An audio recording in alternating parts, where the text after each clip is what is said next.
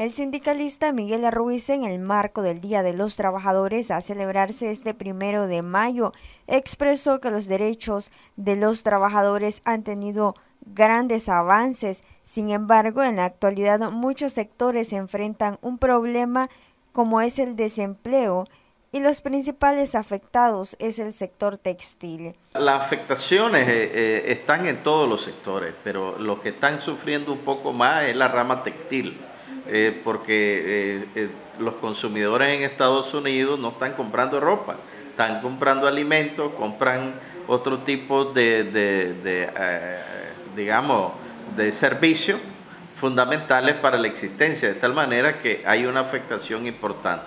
Anoche estaba escuchando Amazon, por ejemplo, está reduciendo 5.000 empleos ¿verdad? En Costa Rica, Canadá y Estados Unidos. Es decir, eh, en, Costa Rica fácilmente se, van a, se están perdiendo 2.000 empleos. México, hay grandes afectaciones sobre eh, los arneses de vehículos.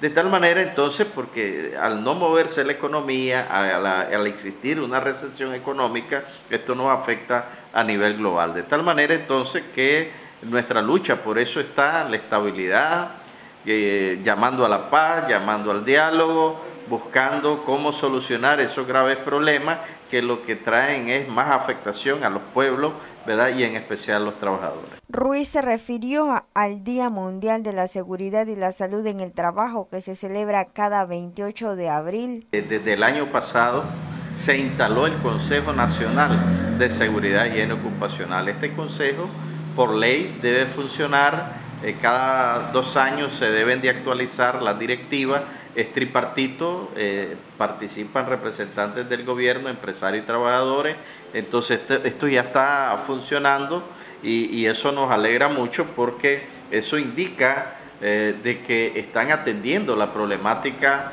eh, de los trabajadores a nivel global. No solamente es responsabilidad del gobierno, es responsabilidad de los empresarios es responsabilidad de los trabajadores velar y tutelar por los derechos que tenemos en materia de seguridad y salud los trabajadores. Hay una excelente ley que es la ley 618, ley de seguridad higiene ocupacional. La ley es clara, establece los mecanismos, los procedimientos que deben establecerse sobre eh, la protección, los equipos, el trabajo que deben desarrollar las comisiones mixtas en cada una de las distintas instituciones, las distintas empresas, cómo deben de protegerse. Noticias 12, Darlene Telles.